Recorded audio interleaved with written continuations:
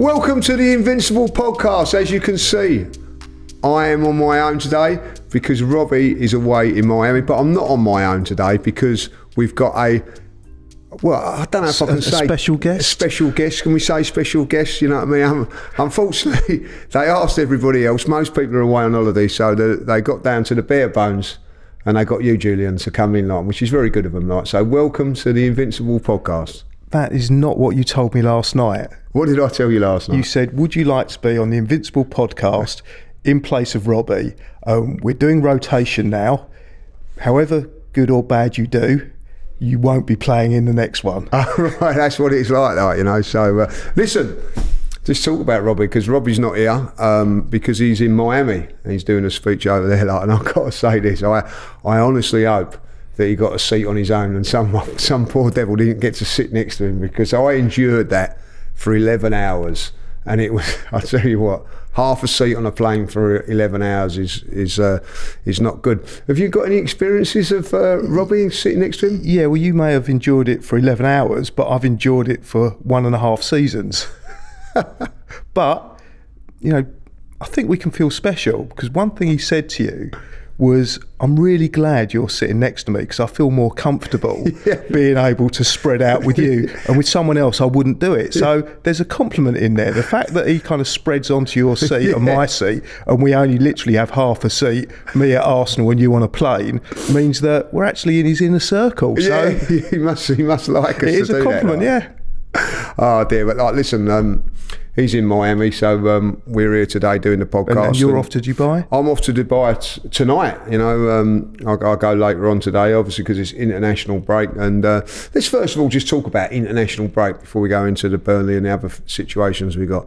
Do you really enjoy the international break? No, absolutely not, because I don't really care for international football. And it was something we discussed on um, Saturday's starting 11 show, and I was shouted down, as per usual, Per usual, yeah. that I expressed a view that international football isn't that important and it's definitely not beneficial for Arsenal. And everyone else seemed to think, hmm. oh no, it's beneficial. And Robbie used his normal tactics of just talking, talking, talking. And I didn't get a word in. And then he moves on to the next subject. But I did kind of bring it back. And then I just got shouted down again. Yeah, listen, I, I, I, I see both sides of it. For me personally, you know, these these next two games, um, I think in Dubai now it's about four hours in front. So if it's an eight o'clock kickoff, it'll be what about twelve o'clock. I ain't really going to be rushing to the bar to watch two non-events really from from England's point of view. And I'm being really honest. I don't want Saka playing. Don't want. Um, uh, Declan Rice playing. I wouldn't mind Ramsdale playing to get some, some sort of game time, but other than that, you know, all the other guy, guys. One of the things I want to bring up quickly before we go into it, like Jesus, you know, not played for the last five Arsenal games, and there he is over in Brazil. Now, I think that's wrong. I'm not happy about that. I think if you can't play for your club, there's no way you should be sent halfway around the world to play for your country. And it looks like he's going to play these games before he's even played for Arsenal. What uh, is that? Is that right or wrong in your eyes? Well, for me, it's all wrong because the clubs pay the players' wages and they're big, big wages. And when they get injured playing for their, their countries, what happens? It's the clubs that suffer. Now, the other side of it is I do understand Brazil's position. There's two things here. First of all, they probably feel that we lied over Martinelli, that he wasn't fit. That's so a that, great so, point, yeah. So that they didn't pick him, and then he played half a game. Did he look fit? Absolutely. He came on and he changed the game. Yeah. And they probably felt right. We need to teach Arsenal a lesson here. So I think we were we're suffering now for what happened. The other side of it is the rules of international football allow them to do this. Yeah. So ultimately, is it right or wrong in football in life? It doesn't matter as much if you're allowed to do something within the rules. People normally take advantage of those rules, and that's exactly what they're doing. Yeah, for me, I'm always worried about uh, going to Brazil because obviously what happened with Jesus, you know, um, he was fantastic up until about this time last season. He went to the World Cup, got injured, and we didn't have him for three months. So I'm, I'm a bit worried about that. The last time uh, Martinelli went to the um, Brazil was the game before Everton comes back and hamstring injury. You know, uh, and I think Jesus, you know, goes to Brazil, comes back, gets a hamstring injury. So I, I'm a little bit worried. I don't suppose it's much to, about the games because it, from from my point of view, you know, Jesus hasn't played for five weeks, so I look at it and think, well, maybe he can play uh, a couple of minutes before coming back and be ready for the Arsenal. But it's that travelling, all that, all that travelling. Yeah, it's not so much the travelling; it's the short termism.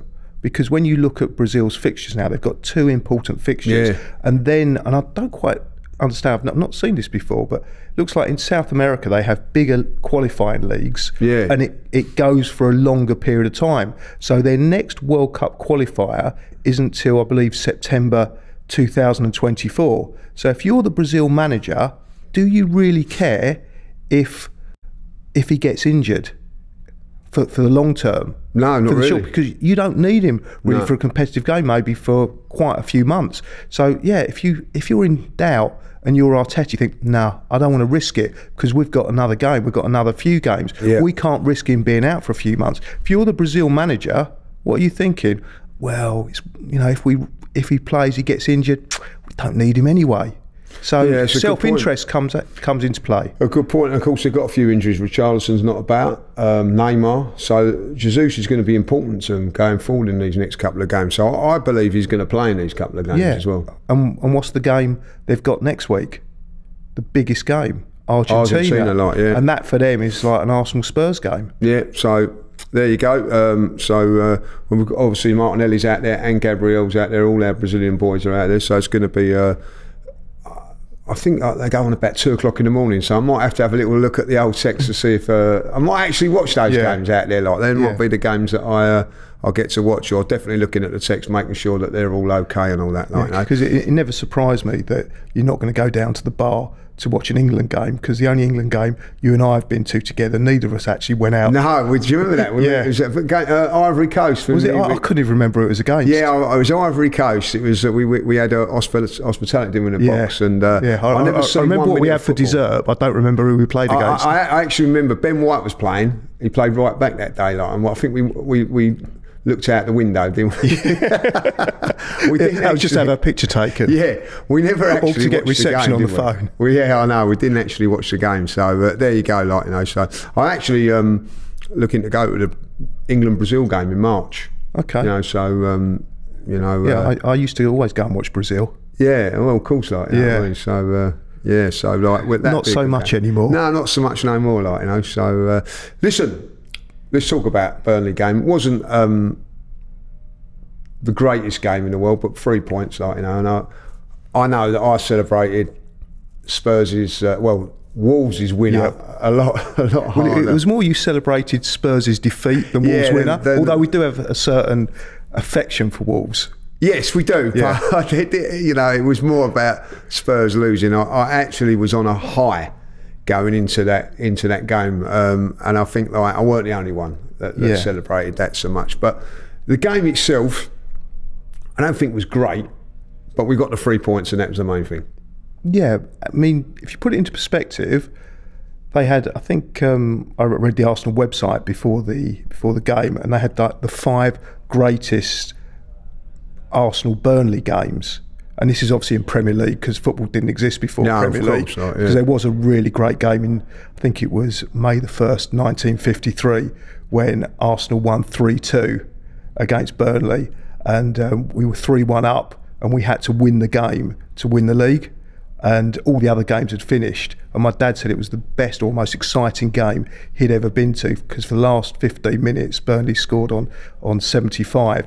Arsenal just kicked the ball out, and he said the atmosphere was like Arsenal had scored a goal for Yeah, 15 yeah, yeah. minutes solidly. So Brilliant. to take that particular game out in 1953, I don't remember too many great games against No. Burnley because of the style of football they play. However, actually, in, in relation to how bad Arsenal Burnley games usually are, that one was pretty good. It was interesting. They play in, a different way. I know it was said that he, he mixed it up a bit and he did come and defend and he didn't go completely gung ho. But I thought technically they were quite good and they were better than I anticipated.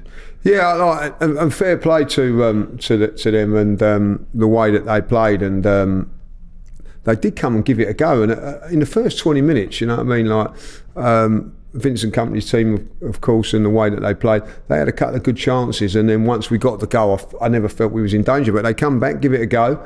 Um, do you think they'll stick with him? I hope so. I hope so because if you look at the first half, we did have. I mean, you look at the stats. We had most of the possession, which is normal. We had far more corners, but we also had far more shots. But what was really interesting is in that first half, they had more shots on target. Yeah. So, so they look more more dangerous. And the way they played, if they carry on playing like that, then I think they'll be okay. Yeah, I'd like to see. Um, I don't know if you've seen the documentary with, with Burnley, which is pretty good. And Vincent Kompany comes along as a, comes a, about as a really really good guy, and and um, obviously was a fantastic footballer. Like you know, unfortunately played for Manchester City.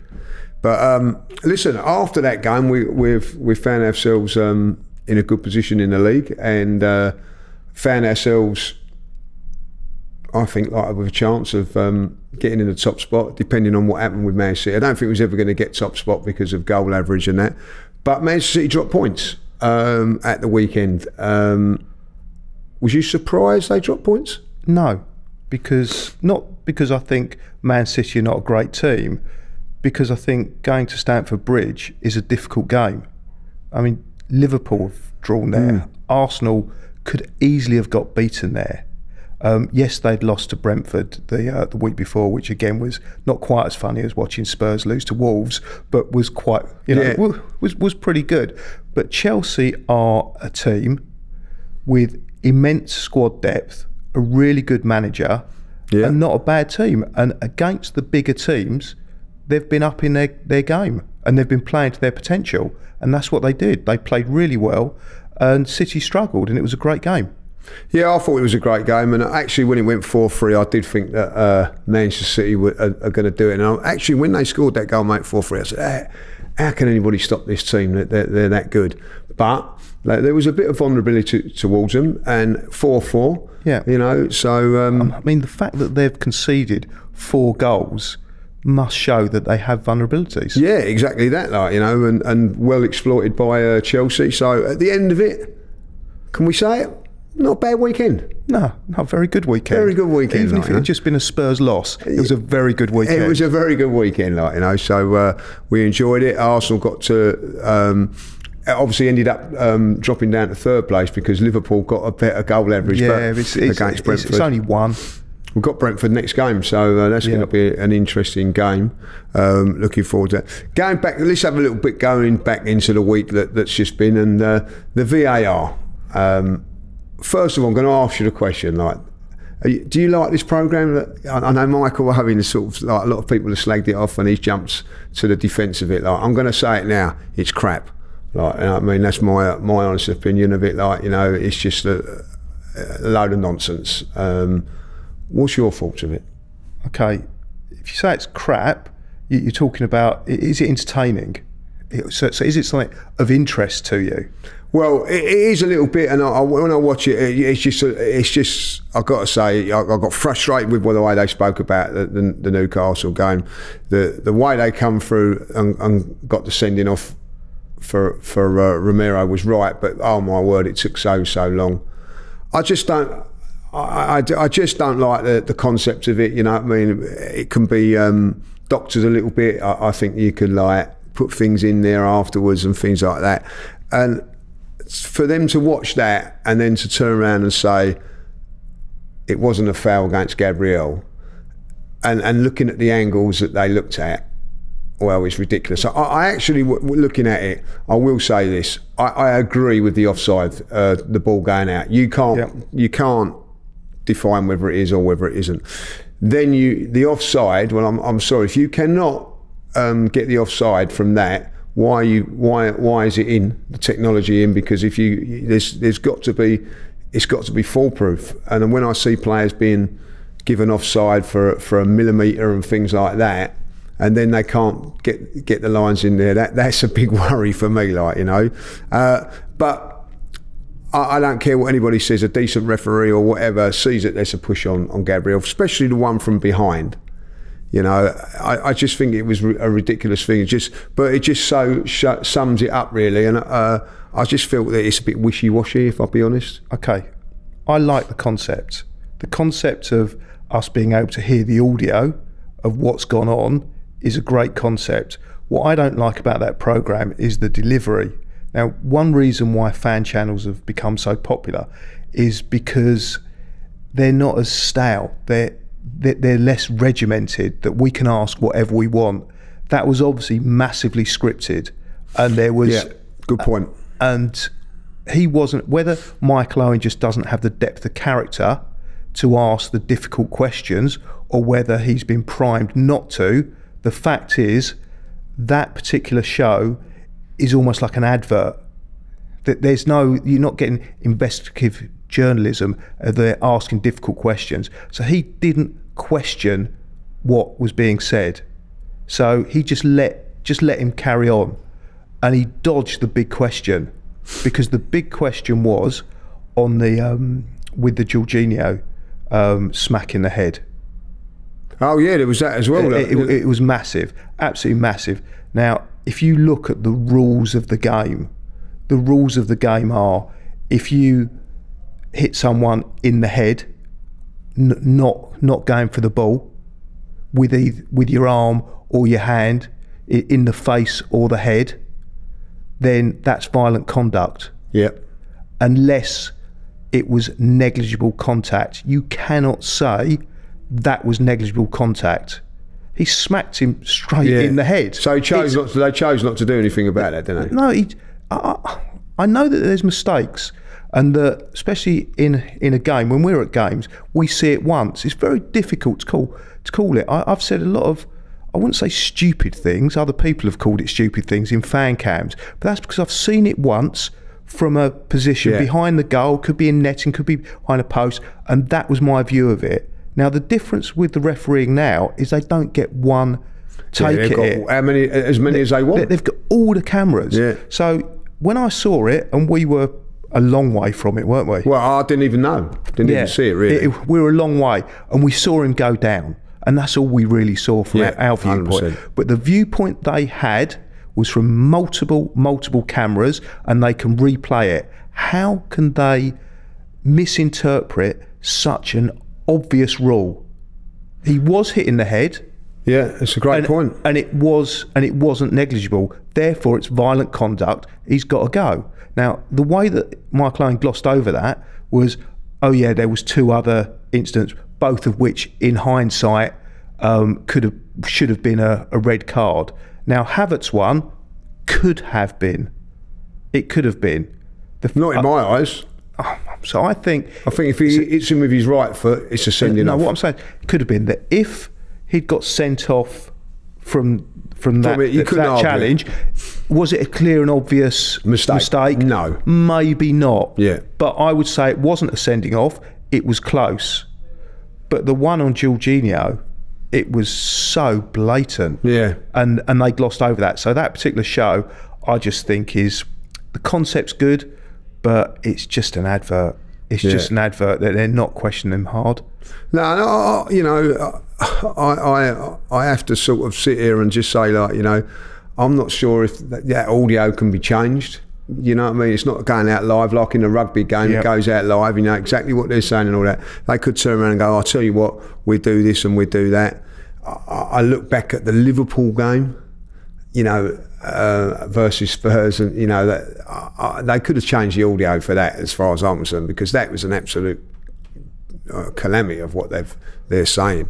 So I'm not all I'm not really uh, in favour of watching that like um, again because at the end of it, what can they say? You know I mean? Uh, Every referee has turned around and said that. Any, I'll say that again. Every credible referee has turned around and said that that was a. a, a It's foul. blatant. It's blatant. I'm not a referee, but I can read English, You and the rules are very blunt. Uh, and all this thing of, of um, Gabriel not being strong enough, right? Well, you, you know, put yourself in that position. Like you're just about to head the ball and someone pushes you. You know what I mean? You're gonna you're gonna go over. It's it's it's as simple as that. Like you know, if you're ready for it. You know what I mean? Like it's a different sort of thing. If you're standing on and someone, if you come and push me now, and I know you're going to do it, you you you tense it up and all that. But if you come from be, from behind at any stage and just go like that, you can knock people over. Like you know I mean? It's just as simple as that. So uh, laws of physics. I ju- I just think it was a ridiculous decision, but. Um, you know, nothing's really come of it with what Mikel said neither. So if if they was that adamant about it, I also think maybe, well, hold on, why haven't you sort of uh, pulled him over the coals with it? But I, I will say now, look, once Arteta said that, I've seen other managers now starting to be a little bit more braver coming out for you. I remember, I think it was Gary O'Neill said, "Oh, I can't say nothing because I'm going to get fined." All of a sudden, now they're coming out and saying, which I think is a good thing, Julian, that that managers should be allowed to. Well, it is up to a point. Yeah, there's a line. could- There's a yeah, line. because if you question every single decision, and a lot of them, a lot of them will, if they're given the, the green light to do so, then you undermine the authority of the referees. And I think whatever I think about those particular decisions, I'm not in the camp that they've been bought off and that they're corrupt. I think they are. I'd like to think they're just mistakes. They're human errors. Right, okay. But then when, when they do make these mistakes and they're not really punished for it, are they? Like, you know, I think like for, for, for instance, if you if your job is to draw lines and you forget to do them, I don't think you should be allowed back. No, you should in be sacked. You should be sacked. yeah. You know what I mean? Like Yeah. not not But- but- not playing a championship game and then and then being brought back for another game. Like you know, uh, they get one game bans and things like that. I think there's got to be a little bit more uh, punishment now because it's it's it's a m- massive massive business. Yeah. Uh, and you know, like if you was working in a bank and you, you know you you forgot to put the funds in for one day, what are they going to do to you? Like you know. Uh, so I, I do think there's got to be a little bit more of that. Yeah, and also being a referee, how hard can it be? You know, you you read the rules. You don't have to be as fit. Yeah, you got to be fit, but most of us are fit enough to be a referee. There must be loads of loads of people that can take their places. So if you're not up Yeah. to scratch, you make mistakes like a player. You get dropped. And Yeah. someone else comes in your place. There's not just 20, I'm sure there's not like 10, 20 referees in the country that are good enough to do the job. I don't think the job would be that difficult. I could do it. Yeah, I like you know. I'd well, lo- I could, I'd love I to could referee have, an Arsenal game. I, could have called a few of those ones there. I, I have to say, I think looking back at the Tottenham one, they went through all of that there, and I think they got that right with, with the decisions there. You know, if I'll be honest. Um, but but then I, I didn't see the Man United one by that time. I, I my my uh, my head had gone. You know what I mean? Enough's enough, like you know. So uh, Yeah, but I, th- I think one thing we should end the conversation with the vast majority of decisions they do get right, give them some credit, but the ones that we talk about are the ones they get Yeah, wrong. and and and the, the thing is, Julian, I will say that is that when when before VAR come in, the referees did get most of them right. Yeah. and they obviously got a few wrong. Um, so that is the thing. When you bring in this VAR, they shouldn't get any wrong. That's my my, my thing with all those cameras. Yeah. with all of what you see, they should not get one decision wrong. Yeah. You know, like I'll go back to the, the penalty at, at, Wolves. Uh, just quickly go on to that one. Like you know, clear and obviously doesn't touch him, but like you know, three four weeks before that, the Havertz one at Manchester United, they overturn. Why are they not overturning that one? Like you know, so again, it's not factual, is it? It's someone's opinion, and that's why I think VAR breaks down. Yeah, but then that's what VAR is producing. VAR is not making the decisions. VAR is giving them more evidence to make their decision. But it's still humans making the decision. I think, and- and I do think it's important that humans do make the decisions. I, I was um, watching the uh, the podcast with uh, Aaron's dad, and one of the other subjects they talked about was VAR towards the end, and he's talking about well, you know, you can bring in AI, um, artificial intelligence on this. You don't really need a referee. I just think that would be going too far. Yeah, I- I- I think you need a want the- referee. you want the human element of it. It's Yeah. a it's a game at the end of it. You don't need complete perfection. Personally, I, I, listen, I've been brought up in a, in a um, an era where referees were, were were important. You know, listen, if you know when you, if you, if the referee didn't turn up, you didn't have a game. You know, so I do still think they're very very important, and I also think that you know the assistant referee is, but, but his job now is getting less and less and less. Where you know offsides are very he very doesn't have the balls to make a decision anymore. No, no, I don't. You know, what I mean, like and linesmen used to, you know, back in the day, used to be, uh, um, could make decisions. You know what I mean? Like if you if you was messing about with a centre centre half or whatever, and they see something going on, the old flag would go up. As soon as it did, you knew you was in trouble. Like you know. So I do think that, that they've got to have a little look at things on that. Like you know, it's not working at this moment in time uh, the way it should be, and. I, No, I'm- it's, I'm it's, it is working, it's just not working perfectly, and we expect perfection. And maybe we should lower our expectations. Well, not really, because in tennis you get um, you get the right decision. In cricket, nine times out of ten you get the right decision. Certainly in rugby you do. Um, you know, um, but listen, VAR's here to stay, Julian. And it ain't going to go away. No. and that, that's the end of it. Like you know. Made a very, very good point. Uh, Did I? uh, well, Which no, one? no, you Uh, haven't only made the- very, you only the one? To be honest, you've not made very. Come back soon, Robbie. But uh, what I will say is that um, you talked about uh, the Aaron Ramsdale's dad's interview. I think we. I don't really want to talk about it, but we're going to have to. Um, and uh, I don't know if people have seen the the, um, the interview, but basically what he's turned around and said is that um, obviously Aaron and the family are very upset about the way it's been dealt with. They, they haven't spoke. Uh, Mikel Arteta hasn't spoke to him to say why he's been dropped or or, or whatever. Um, I will say that, that he said some very very good things in it uh, as well.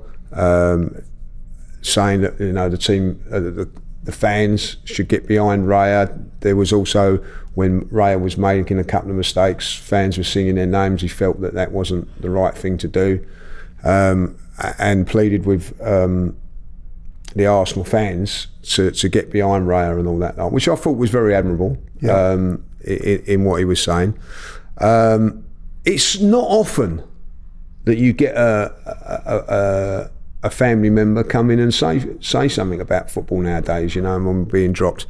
Um, I think it's a, a new thing. I think because of social media and everything like that. I will say the one thing about about it, it's a completely different scenario than any other position. You know what I mean? Like if you if, if a midfielder gets dropped, there's always a chance he can get back in the team. There's always a chance, even if you're left out or dropped. And you know, I'm, I'm sure you got dropped more times than me in football. In No, I didn't. I managed the team. Um, well, well, I've been out and managed the team, you know. But what I'm saying is that when you're dropped, you, you- one, you, you know that you, there's a chance you're going to get back in the team, and also there's a chance you're going to get some minutes at some stage of the game. For a goalkeeper, you're not.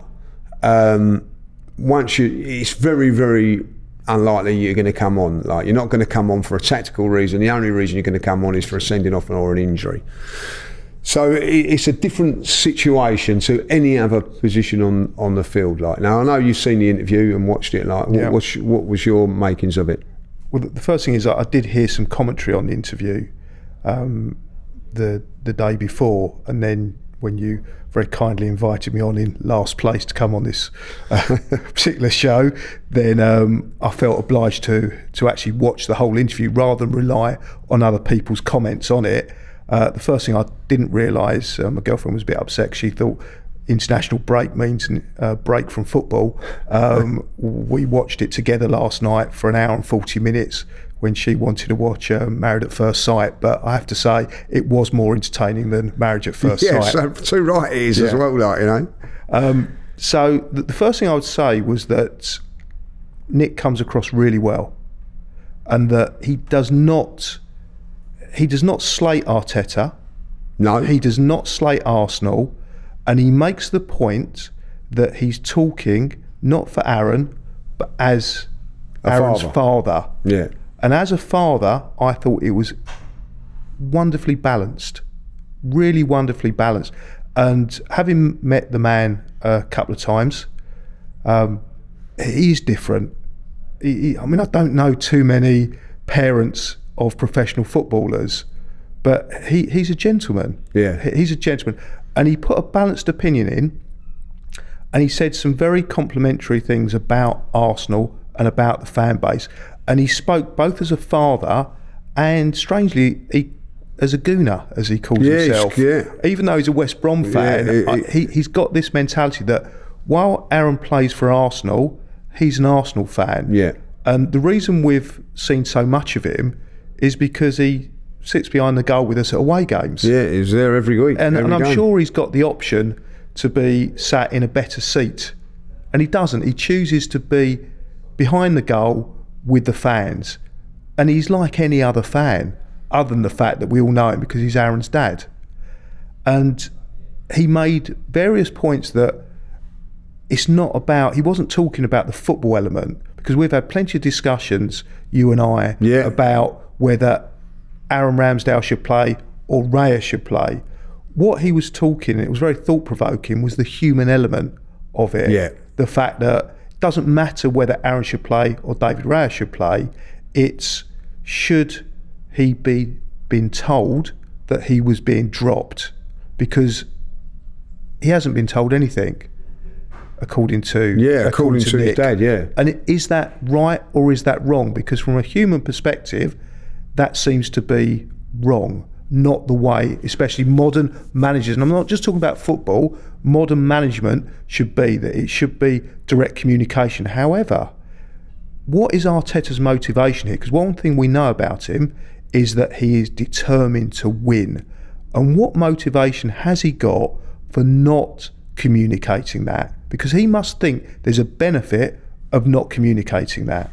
Yeah, one, one thing I, was a very interesting thing that what, what we were saying about that, and um, I- I, totally agree. I, I think that you know you get this um, narrative. Oh, it's elite sport. You, you know, you're getting paid well and that, so they should just take it and be a man about it and all And that. he is taking it. and he has taken it, which is fair enough. But there's a history of um, bad communication between the goalkeepers because all the goalkeepers have left under a cloud. Now, if you look back, Martinez left under a cloud, slagged off Arsenal um, and the way it was dealt with, um, which he now gets the wrath of every time uh, Arsenal play Aston Villa. which I think is wrong. I love. So I love like that he, he was a very very good goalkeeper, and I, I and uh, he actually said it was a decision, it wasn't a footballing decision. Then Leno's come out and said um, was never told, never told what was going on and and, and things like that. So there's been uh, an, uh, another instance where a goalkeeper that was done okay for Arsenal has sort of been not treated properly on, on, on the way it's gone now. And now Aaron's being treated the same. Um, so it does seem like a familiar sort of thing with the Arsenal goalkeepers. I don't, I don't know why that is. Um, it, because it may be because it's a different position and whatever. Personally, if it's me, um, it doesn't matter if you're told or not. You know what I mean? It, it's Yeah. still the same. It's the same thing. But I think when Mikel comes out and says, you know, I've got two goalkeepers, they're going to be in competition and things like that, and then when you're left out and then you're not really being given a fair shout at it, where like we know it's not being rotated because there's been errors from Raya and he's not been uh, left out and whatever. I think that's when there's a little bit of a problem, like you know, like ju- you, and I think that maybe that's where the the Ramsdale, well, certainly the dad is a little bit upset. Is that you know, if you if you don't want my son, that's fair enough. Um, when we move on, I will say this about it. You know, a, a lot of um, negatives and positives come out. I don't like at the end of it. Aaron has made mistakes in, in the past, as we all know, um, but and, and, and people are trying to highlight that a lot more. But from my point of view, I, I, I'll say it again. I don't think he deserved to be dropped. That is my opinion. Um, I look back at some of the wonderful performances that he's, that he's made away from home, and and he's saved us a lot of times. Also, yeah, he has made mistakes as well. Raya has come in. And he's made mistakes. The different, a lot of people going, oh, one thing that I will pick up on, which was said, was from a lot of fans are saying, well, like the Ramsdale weren't worried about Leno when he come when when that happened and it is a ruthless game and whatever. Like you know, I don't know what Aaron was promised when he when he signed for Arsenal. I don't know what Raya was promised when he signed for Arsenal. The one thing that I will say is, when Leno was left out for Aaron, Ramsdale come in and produced, and it wasn't like, oh, I'm not sure, I'm not sure. He won won all the Arsenal fans over with some fantastic performance. I don't think Raya has got to that height yet. He hasn't done that. There's been mistakes and it's not been great. I felt he had a very, very good game against Burnley. And I will say there's a little bit of the, the concentration error, um, element, sorry, where, um, particularly now, if you have a look at it with the games now, you're not involved as much. The goalkeeper's not involved, so you have to be a little bit more switched on and all that. So you know you could have to maybe compliment Raya for, for that side of it, like you know. At the end of the day, I don't think it's the question. I don't think any Arsenal fans questioning it about whether you leave him out or whatever. It's now the question is is it been done rightly? And, and I look back at the history of the goalkeepers from Martinez, you know, that, that's been at Arsenal for, I think, nine, ten years, maybe even longer, to, to criticise the club for Leno to come out and say what he's saying, like you know, Leno actually come out and said it's not for for for, for footballing reasons. Well, it was. He got dropped. Yeah, well, Eh, eh, so for him to say that, I mean, I'll, I'll concentrate on the, the Leno, the, the Leno one, because you, you mentioned that you know there wasn't the, the same upheaval of Yeah, uh, the, you know people weren't as critical because Aaron came in and straight away made the position his own. But if we take ourselves back to the situation when that happened, we'd had three Premier League games. We'd lost to, we'd lost to Brentford on that first Yeah. first game. Chelsea we then, we then lost to Chelsea. Then we got absolutely smacked by Man City. I think it was five 0 which I don't wouldn't have put that at Leno's door though. If I'd be Oh. really honest. Well, you might not put it at Leno's door, but the situation is people were clamouring for change. yeah, You know, people were unhappy. I remember doing fan cams then, and I was coming out and I was saying, look, it's early. We've been a bit unfortunate. We've got injuries, and I was getting, as usual, absolutely, slau- Yeah, absolutely slaughtered. it wasn't a very good time It wasn't time. a good time. So people are wanting change. Therefore, when you change anything, it's a good thing because we're losing, so make a change. It's like when you're losing a game and bring on a sub, bring on a sub, you know, change it up, change it up because they want change. So when Aaron came into the team, it was the best possible time to come into the team. It's like when a new manager comes in. A new manager normally comes in nine times out of ten when the previous manager is doing badly. So people want a change. They're normally embraced. And that's what Aaron was done. Aaron's timing of coming into that team was perfect for Aaron because we were at our lowest ebb. Yeah. We were actually bottom of the league. well, we was. Yeah, three defeats on the spin. Like Yeah, that. big big defeats as well.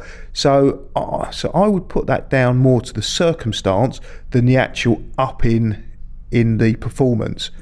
Raya has come into the team when we're as high, you know, as a fan base as we've been since, for me, the Invincibles. Even you know, taking out the FA Cup wins, which were kind of like an oasis in a in a pool of misery is that now we're at this high. So to make the change now, people are questioning it. You know, why change what's not fixed, what's not broke? Yeah, I get that. I, and I, I, I do get that. Like you know, so for for for you, uh, you think it's the right decision or not to to leave out Ramsdale and It, bring in it Ray? is it is marginal. It is marginal, but I go back to the John Lukic, David Seaman decision. I love John Lukic. Yeah. John Lukic for me gave me my greatest moment in um in my life.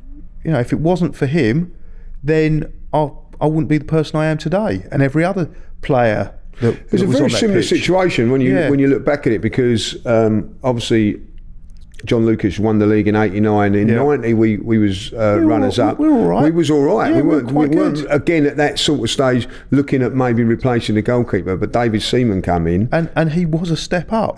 Well, and he proved it. Yeah. he did prove it, and and, that- and that that is the problem with Ray at the moment. I don't think he, he that listen. We've got to give him time and everything like Yeah. that to, to actually prove it. Like, but going of course now, um, he's actually not really an Arsenal player at this moment in time, is he? And because of I, that I reason, think that's a technicality. It is a technicality. It was done for, for FFP.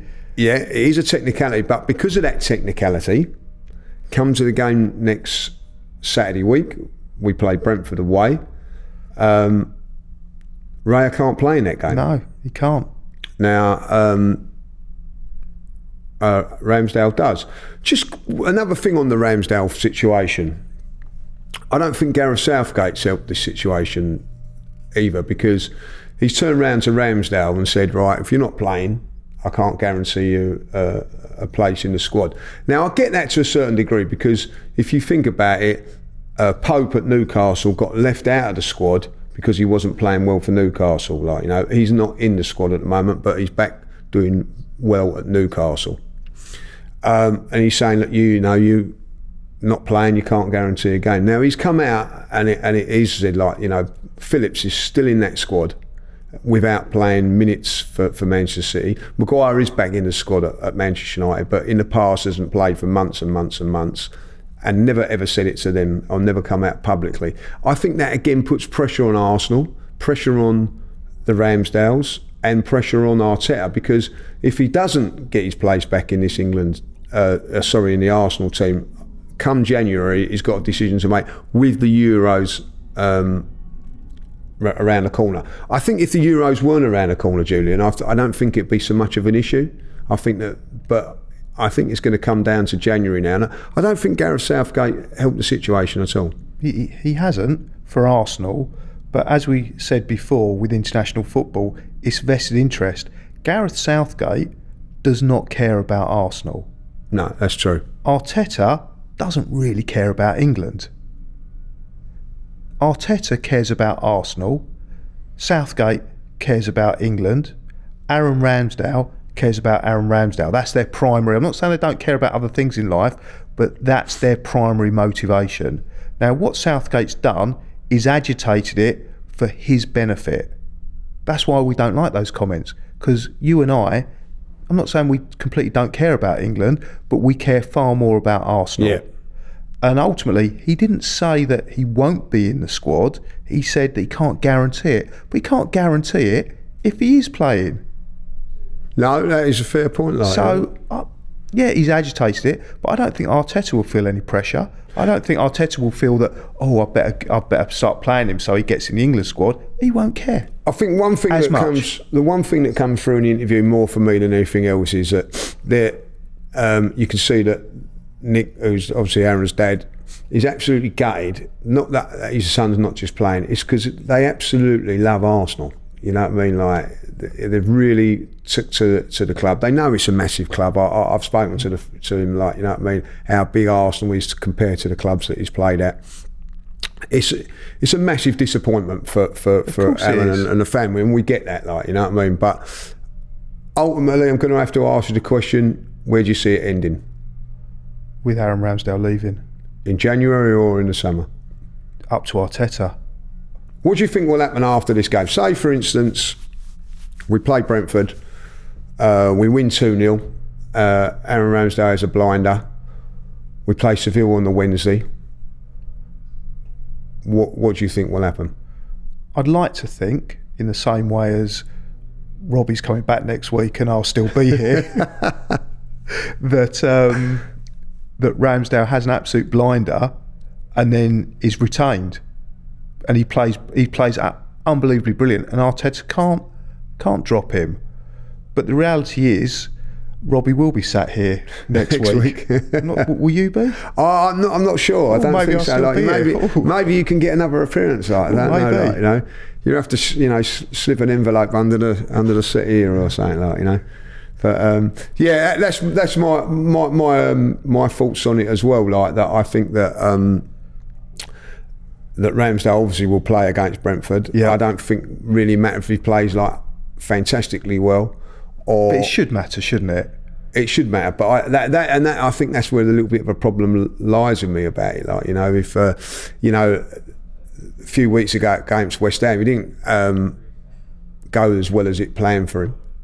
But I- I, I think that it didn't didn't matter if if he'd have had a blinder. I don't think it would have mattered. Like you know, so uh, Yeah, he had a blinder in the League Cup before yeah, against yeah. Brentford. Oh, he did have a game against Brentford and was still left out, like you know. So, but is, is it different in a Premier League game? I don't know, like you know. Um, and, and I think that if if he was thinking about bringing him back, I wouldn't have been maybe giving him a game before this Brentford game, like you know what I mean. So I don't know, you know. It'd be interesting to see what happens. Um, big big game, of course, that will be. We'll talk about that probably next week, or maybe you might be able to as well, like you know. So uh, we go from there. Like, what are you up to? Um, is we now got international break? You, you, you, I know you went on a cruise last time. You, I, I you- did go on a cruise. Um, my friend who I went on a cruise with has now got himself a girlfriend, and I've been dropped. Oh, Um, this dropping last yeah. seems to be a habit round here. yeah, Like, um, you're going away with your girlfriend, and unfortunately, she sees three as a crowd. I, don't, I, don't, I don't get that. Um, my girlfriend has no holiday time left. Oh, So she's talking about going away for the weekend. Um, she has mentioned Liverpool. Slightly hesitant on that one. well, I don't, I don't blame you. I think you should give Liverpool a swerve, like yeah. Um, Maybe head down Bournemouth way somewhere like that. yeah, Bournemouth. Bournemouth's nice. great. So at the moment, um, probably watching Married at First Sight for that Oh, weekend. Oh dear, oh dear. Well, that ain't going to be too good, like you know. Well, listen, we've come to the end of the end of the show. Just before we go, like you know, I've got to say this. Um, thanks for coming on the Invincibles and making the effort with the Invincible shirt. You know, Yes, I don't know if anybody's um, noticed it's, that. It's one of the few shirts that's actually too big for me. That my mum used to buy me shirts um, bigger that I'd grow into, But- and uh, I did grow into them. And this one, um, it's probably I can thank um, sort of Russian girlfriend number two the fact that I've lost weight. I wouldn't recommend her as a girlfriend, but as a personal trainer She and, was good and like dietitian, brilliant. Looking at that shirt, Yeah, right? What player does it remind you of straight away? Martin Keown. Martin Keown, right? Well, I've gone Patrick Vieira, like you know. Okay. It's uh, And, um, and what comes into your mind with, with this shirt? Is there a particular vision you have with the, this the, shirt? the vision with that shirt is obviously the Man United game. yep, It- correct. You know, it, it, and, that's the one I've got in my head. Obviously Martin what happened that day what fantastic even though we, Yeah. we didn't win the game we drew it nil nil it was it was a very very special game and that kit I think will always be remembered for that game Yeah, uh, and you said Martin, Martin Keown Vieira yeah. um, and, and and for me, just in case anyone's in any doubt, it's him jumping and smacking, Smashing smacking a Van Nistelrooy on the head, Van Nistelrooy, which yeah. of course isn't violent conduct because that's acceptable. that is that was and he did, well, absolutely deserved it. it, it wasn't acceptable because he got fined a lot of money and banned for two games. I think it was like that. money well spent But, on that uh, fine. Yeah, and um, so, so that we, we, you know, like the Invincible season with that kit there, very iconic. Yeah, and, and it Um, also just one last thing I can say about that particular game also led to one of my fame, well, one of my my greatest Arsene Wenger quotes, which was "Life is about inches." Yeah, and that's uh, and, it was because Yeah, that, that you know that penalty, penalty yeah. could have been so so different. And I look back on that; it's never a penalty in the first No, place. of course you know He I mean? dived as usual. Dived as usual. And uh, anyway, we uh, we come out of there. We, we've scraped a nil nil draw, Scraped to nil nil. and uh, probably the best nil nil ever. Um, In our in our, I, I can't I, think th- of I think that one and the More FA and, and the FA Cup in 2005. Oh, 2005 with the where we were absolutely Hammered useless, hammered the whole game. And if you're gonna- 120 minutes. Yeah. and we came out and Vieira's last kick, Kick. as an Arsenal, Oh, player, Arsenal player. Not only gave us the FA Cup, but stopped them winning it. And we'll leave it with the goalkeepers. Jens Lehmann on that day was absolutely outstanding. So um, Yep. there you go, like you know. Julian, thanks for uh, stepping in at the last minute and uh, making sure the Invincible podcast could go ahead. so well I done. look forward to next week and, And the uh, week maybe, after. maybe next week you might get an inclusion next week, like you know. So listen, guys, thanks for listening. Thanks for watching. Don't forget, um, do all the stuff, you know, subscribe, whatever. AFTV. The Invincible podcast. Myself, Robbie, and Lee Judges come together once a week to discuss all things Arsenal. Straight talking, considered discussion, brought to you by the fans of the only club in Football League history to go invincible.